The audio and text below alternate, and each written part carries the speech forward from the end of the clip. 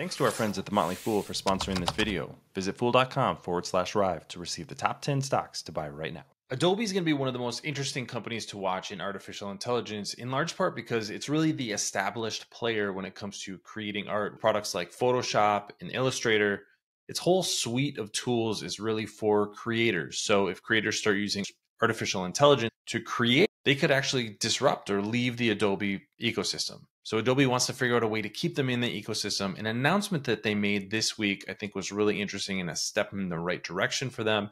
That's what I want to go through today. My name is Travis Hoium. Thanks for watching Rive Investing. Please subscribe here on YouTube for all my content. And let's get right to the announcement.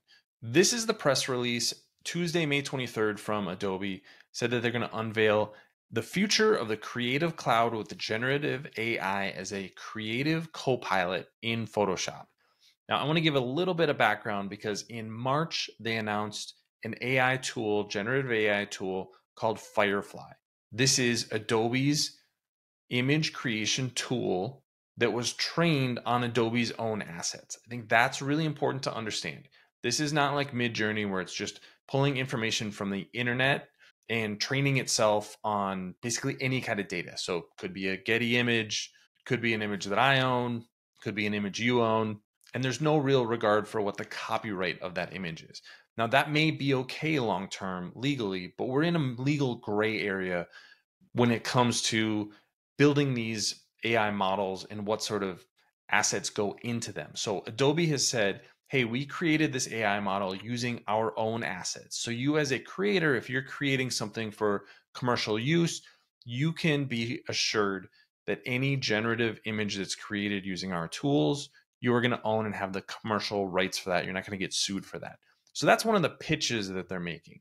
So that was Firefly, and Firefly is basically now going to be included in the Adobe suite. I'm going to play this little video. Hopefully, it shows up well. But the idea here is not that you're going to be creating images whole cloth like you would with something like Midjourney. You can do that with Firefly, but more so that you're going to take an image and modify it in ways that you would like to. So you can see here added road lines, made the aspect aspect ratio a little bit different. In this one, where they're going to take a deer and actually put it in an alley at night and then add a sign. So these are the kind of things that you're going to be using Adobe for if you're a user of Photoshop, but now you're just going to be using generative AI to make your job a lot easier. I think this is really the right strategy for Adobe because you're basically superpowering your users with artificial intelligence makes your business stickier and adds value in the process. Again, we're also getting to the point where Adobe has taken away that fear that you're going to be using somebody else's copyrighted materials in your artificial intelligence model. So, we're not going to see a company like Adobe make an entirely new business model. I think this is where artificial intelligence could be disruptive, but it could also be incre- incrementally helpful for a company like Adobe if they're able to make their products better and more usable to more people. I think the argument for Adobe, especially, especially with a tool like this, is if they can make their AI products so easy to use that an amateur can use them, you're going to actually make your addressable audience even bigger. Going back 20 years, you had to be really well trained to use Photoshop. Now we're getting to the point where a lot of these tools are easier. Things like Canva are much easier. It's possible that Adobe moves in that direction to try to broaden the audience and sell their products to more and more people. They've obviously done that by moving into the cloud.